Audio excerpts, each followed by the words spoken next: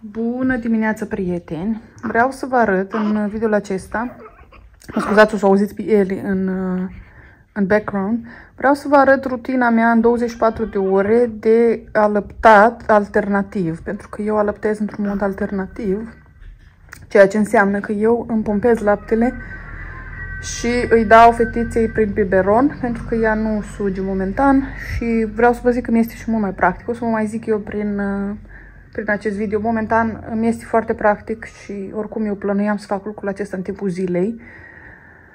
Dar o să vă arăt 24 de ore cu mine și cu Eli, cum se hrănește Eli și cum îmi pro procur eu laftile, să zicem, de la mine. Este ora 11 acum, deci o să închid mâine la ora 11 sau cât de cât pe acolo. Deja m-am trezit un pic mai târziu astăzi, Deja i-am dat o sticluță o sticluță de lapte. Eu pregătesc laptele în frigider. Astăzi avem sticluțe de 80 de ml, atât îi pun. Ieri am avut 70 de ml și am văzut că ieri uh, mânca mai mult și vrea mai des. Am vrut chiar și din oră în oră să mănânce. Nu, nu chiar 70 mâncat din oră în oră, dar în fine. Așa că am uh, pus un pic mai mult, am pus 80, nu l-a terminat acum, e posibil să-l bea acum. Uh, în 10-20 minute de obicei ea să mai trezesc și mai bea un pic. Dacă nu, asta este, îi dau după când se va trezi alt, altă sticluță. O să vă arăt, eu mi le pregătesc deja umplute cu lapte în frigider, să le am deja pregătite și doar le încălzesc un picuț, foarte atent stau și, și încerc, îl amestec bine laptele și îl încerc cu degetul să nu, să nu fie fierbinte. Aceste sticluțe nu pot să le încălzesc în apă, pentru că au, de desubt au niște valve și va intra apă înăuntru în ele, le pun în microunde foarte, foarte puțin. Și în timp ce ea, ce dau ei laptele, eu îmi am pus pompele și, tot așa că nu se focusează, și pompele își fac treaba singure, eu n-am treabă, sunt sub hainele mele, nu le vede nimeni. Se aude foarte, foarte puțin, o să vă arăt. Oricum, asta o să fie acum. Vlogul acesta o să vă arăt 24 de ore rutina mea de hrănire a lui Eli, da, și lângă am o ceașcă de cafea care am băut-o.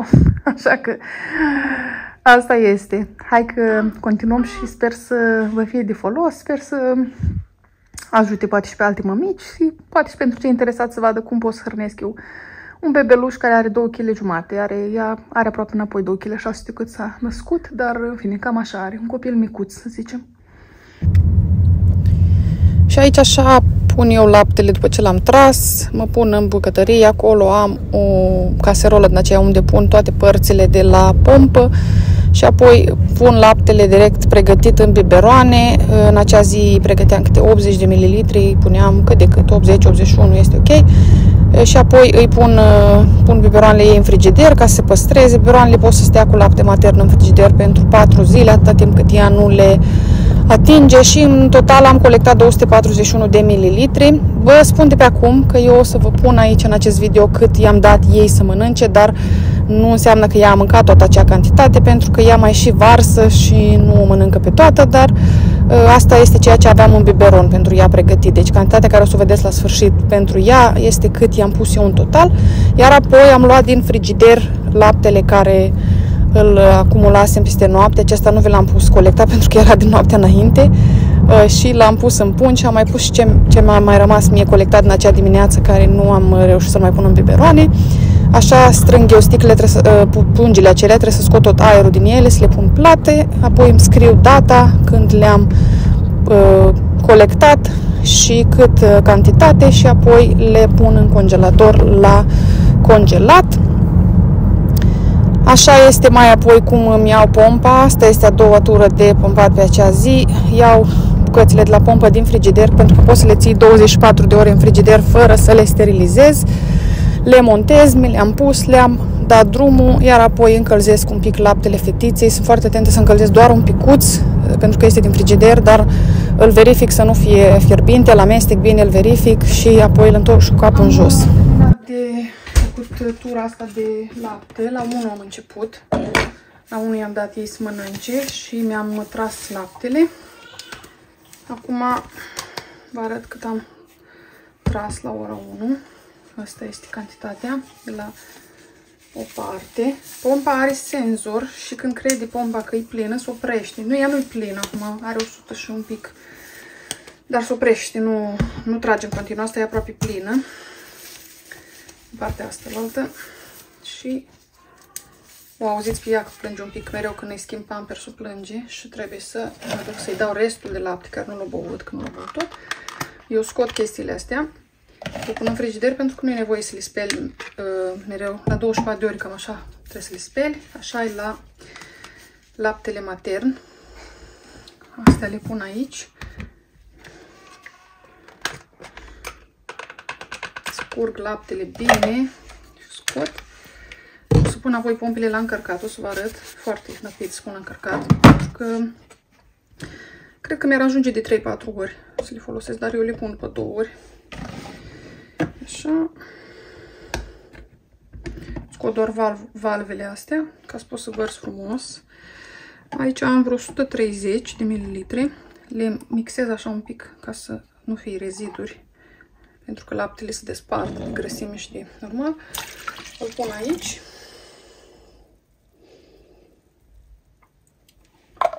Tura viitoare o să-l pun în congelator când am mai mult, ca așa nu stau de fiecare dată.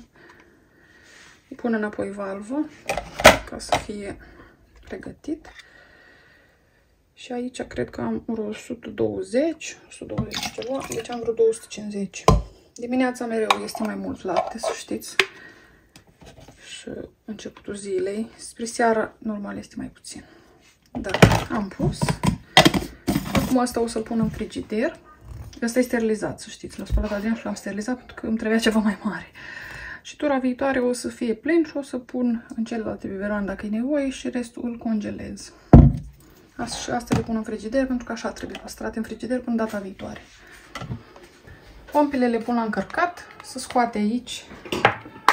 Cablurile le am mereu pus în priză, Adrian mi le lasă. Să bagă cablul aici înăuntru. Să aprinde lumina, când se face verde încărcat. În data viitoare să încarc. Să încarc cam într-o oră, aș zice chiar mai rapid. Eu nu le folosesc cum Aici le las la încărcat. Se face verde când sunt încărcate și oricum până tura viitoare gata. Mă duc să termin să-i dau laptele care au rămas și ne vedem tura viitoare. Fetița a terminat laptele. După ce mi-am uh, pus laptele în frigider, am venit și ea era supărată. Și i-am dat restul de lapte și l-a terminat tot. Deci 80 de ml l-au băut astăzi. Totul în două reprize, dar e ok. Mi-am pus timerul la telefon să nu las mai mult de două ore să doarmă după ce o terminat de mâncat. Și, uh, da, am pus. Asta este sesiunea de la 4 și jumate de lapte. Fetița a mâncat aproape tot biberul, nu mai are foarte puțin, dar o să-l dau eu că după ce o schimb pampers și acum trebuie să rezolv laptele ăsta.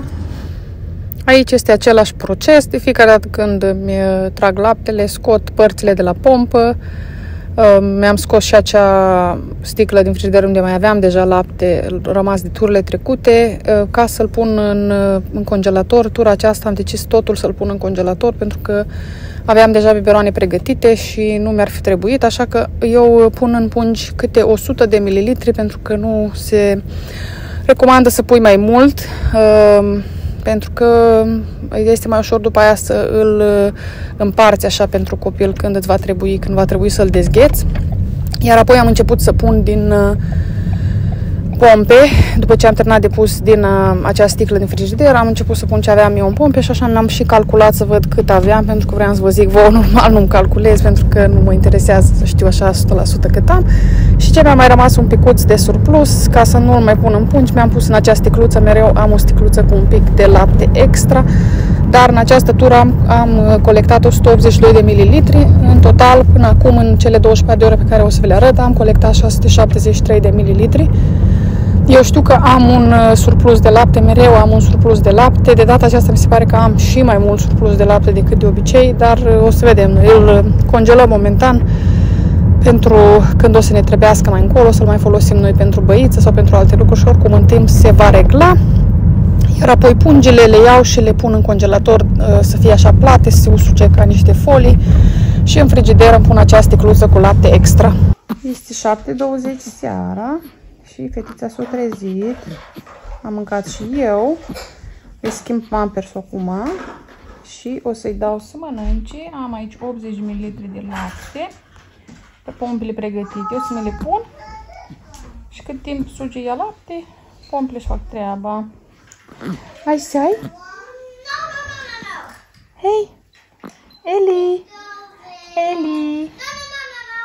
Ce te uiți, mama, acolo? Ce ai văzut? O, bubuțele, mama, frumoasele, mama. Amore mititel? Așa, mama. Așa, mama, da. Mai te iubește, mama, da? Da, mama, te iubesc? Te iubește, mamica, da? Nesuc. Nesuc și buzițe mici. Și căpușori frumoase aici are fetița, da? Așa, mărele mama, da. Oh, ce grea e viața asta, somn, somn, somn, somn, somn. Așa e, mări?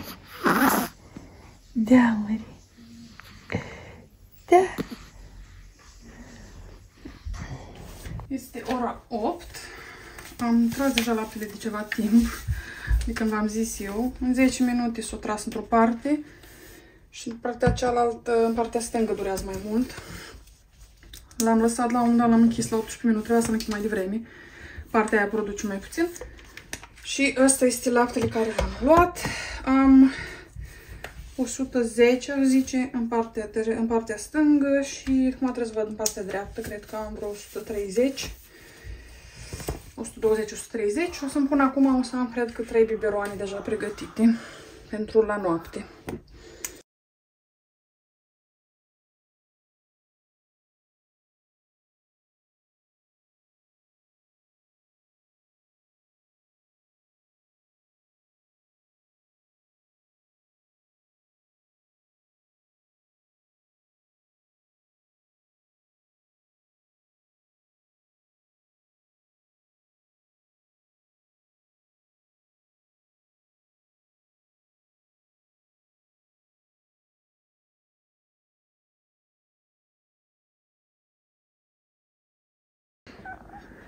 Deci este ora 11. Eu i-am mai dat la fetiță la ora 9 și 9, cam așa, i-am mai dat 50 de ml de lapte pentru că vroia, scuzați, mă mișc că fetița vrea acum. Și acum am aici 80 de ml să-i dau iarăși. O să-l încălzesc și îmi pregătesc pompele să trag lapte și apoi vă arăt cât am tras în total. Da, am terminat. I-am dat să sugă. Practic am strâns atâta lapte. O să vă arăt acum. Și o să vreau să văd cât o mai are de băut, dar o să-l bea. Pentru că ea mereu îl bea când uh, merg la culcare cu ea. Și o să merg cu ea la culcare acuș și o să îl bea. Asta o să le pun deoparte pentru spălat. Am strâns aproape 120 într-o parte și aproape 120 într-o parte, deci cam 240. Sunt curioasă să văd cam cât uh, o rămas de la ea. Și cântăresc un beron gol. Iar apoi ăsta. A, deci mai rămas 14 grame aici, dar o să-l bea acum și când merg în cameră cu ea. O să mai umplu două sticluțe cu lapte și restul pun aici deoparte și apoi mergem la culcare. Aici, cu laptele pe care l-am colectat, aveam să îmi pregătesc biberoanele pentru la noapte. De obicei îmi pregătesc să am cel puțin 3 biberoane și mai îmi lăs și ceva lapte extra pentru că în caz de ea dorește mai mult să am acolo să-i dau. Um, și da, am pregătit încă două biberoane, cred că mai aveam ceva frigider și am mai pus și în acea sticluță să am extra, apoi mi-am pus pompele la încărcat pentru ca să le am încărcate pe timpul nopții.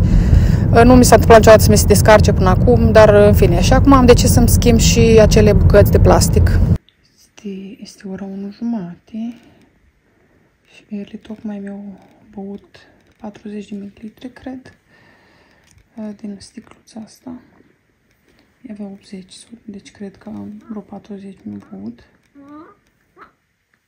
S-a trezit și trebuie să o schimb de pampers și cred că mai era, mai era, mai era foame și i-am, i-am dat o sticluță. Titi cu ochii deschiși. Hei, uite să facem nani la ora asta, știi? Nu facem nani? Da, așa că văd dacă mai vrea acum restul de lapte și vă zic și voi imediat. Și după ne culcăm.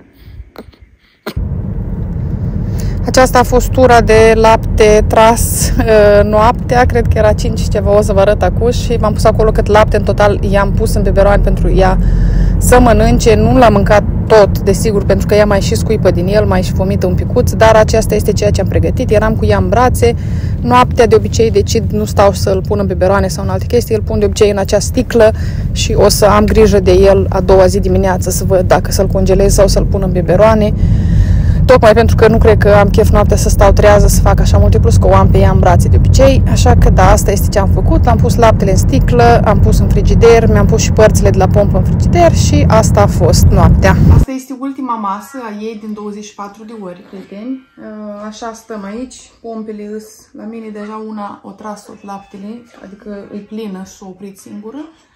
O să vă arăt acuși cum, uh, cât lapte am, uh, am colectat șuntura aceasta, dar așa mănânc fetița. Ea stă aici lângă mine, cu biberoanele acestea de la mam și încet cu încet își bea lăpticul. Da. Deci am terminat sesiunea, ultima sesiune în 24 de ore de tras laptele. Asta este una. Și asta este a doua.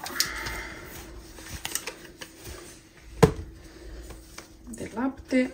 O să le pun acum la congelat. Asta este laptele care l-am colectat aseară. O să le pun la congelat și o să-mi pun și un biberon, probabil, că mai am unul în frigider și să mai am unul uh, pregătit în caz de mi-ajunge. Dacă nu, nu pun, că oricum tura viitoare de tras o să am sigur destul lapte. Prindem lumină.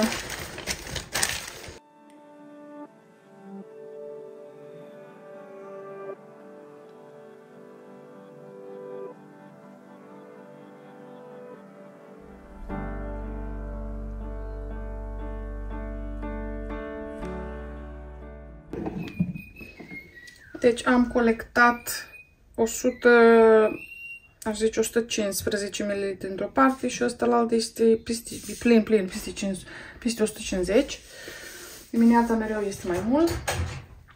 Și mai am de aseară, cred că vreo 200 și ceva. Așa că o să încerc să pun acum pungi. O să am cel puțin 4 pungi în congelator.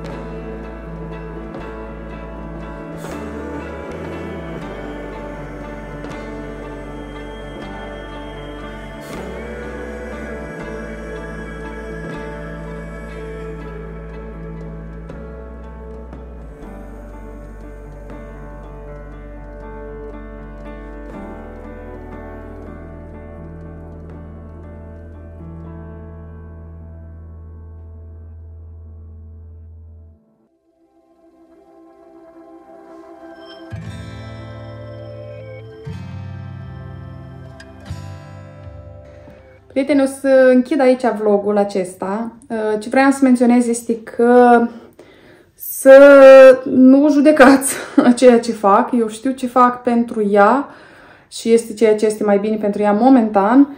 Un alt lucru de spus este că lucrurile se schimbă cât de cât uh, cu ea, deci nu în fiecare zi fac exact, exact la fel, dar cât de cât asta este ceea ce fac cu ea, așa o hrănesc pe ea ca și copilași micuți în viitor probabil lucrurile o să le schimb, nu știu să zic acum. Momentan asta este ceea ce fac, așa că dacă vreți să vedeți în viitor cum funcționează uh, pentru mine alăptarea alternativă și dacă o să schimb lucruri, dacă o să o pun la sân sau lucruri de genul acesta, cum o să funcționeze. Rămâneți aproape pe canal pentru că o să mai public update-uri în privința aceasta, uh, cum lucrurile o să schimbi mai mult. Um, și un alt lucru care vreau să vă spun este cantitatea care o vedeți că i-am dat-o ei. Uh, ea nu o bea toată, toată. O bea aproximativ toată, probabil parte din ea să mai duce pe babețică, mai vomit un picuț. În general, asta este ceea ce, asta e cantitatea care i-am pus în biberoane. În 24 de ore, asta este cantitatea din biberon care au avut-o.